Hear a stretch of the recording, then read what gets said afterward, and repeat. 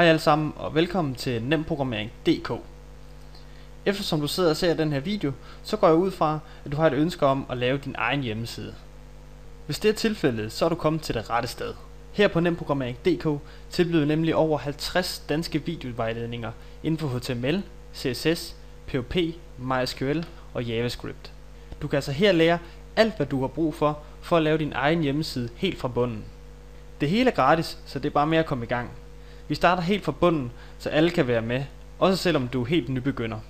Hvis du har spørgsmål til den undervisning, som sker i videoerne, så kan du stille dem under hver video eller i vores forum på vores hjemmeside. Vores hjemmeside den ser således ud. Til venstre har vi lavet en overskuelig menu, så du nemt kan finde rundt i de forskellige programmeringssprog. Som du kan se, så har vi delt det op i HTML, CSS, JavaScript, PHP, MySQL. Under hvert emne, der har vi placeret vores videovejledninger. For eksempel kan jeg trykke på HTML her, og der vil de forskellige videovejledninger blive vist. Derudover så har vi også artikler om hvordan du tjener penge på din hjemmeside, og artikler om det at starte sin hjemmeside op.